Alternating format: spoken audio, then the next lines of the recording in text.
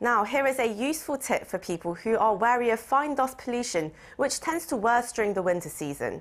According to researchers, air purifiers need to be placed in the middle of the room to be fully effective. Here's our Cho Sung-min with the details. As the ultrafine dust pollution flows in this winter, demand for air purifiers among Korean consumers is soaring.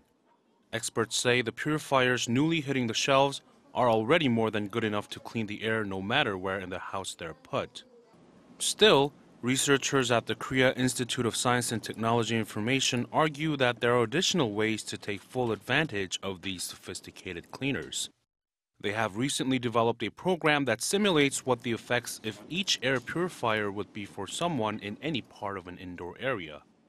The program uses a special algorithm to calculate the air content, circulation, and how much fine dust the devices can clear out.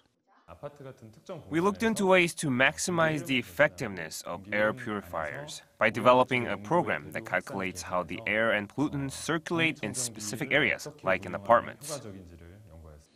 After running all the simulations, they figured out that most of us have been using air purifiers the wrong way. The best way it turns out, is to put them in the middle of the room. It's best to put it in the strongest mode in an open area. To reduce air pollutants in the shortest amount of time, we advise people to use an extra circulator.